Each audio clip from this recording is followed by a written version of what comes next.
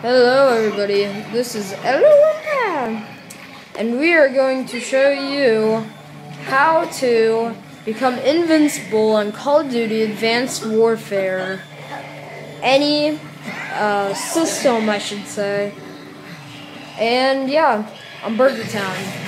So, to do this trick, you will need to buy the sewer door and and go into the jump down. Go into that one giant uh go into that one giant uh pothole thing, that giant hole, the sewer. And go as crouch down, go as far as you can to the wall until you can't move. And there you go, you have now become invincible.